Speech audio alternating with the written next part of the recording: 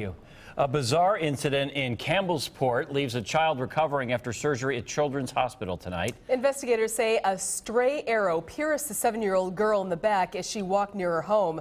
Fox 6's Myra Sanchez is here with the story. Myra.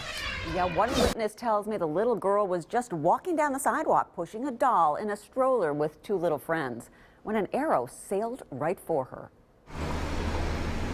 It was broad daylight on Main Street in Campbellsport Sunday. Many people were out enjoying the weather. Seven-year-old Ariana Schneeberg was two, playing with two little girls when suddenly things changed. Someone pulled back a bow and fired an arrow. It appears that the arrow came in at a high, high angle um, and impacted the left side of her back. Um, causing some significant injuries. The girl's parents and emergency crews were there in an instant, trying to comfort the girl, but careful not to pull out the arrow. That could have been lethal. The girl was flown by helicopter to Children's Hospital in Wauwatosa, where she is now recovering from surgery.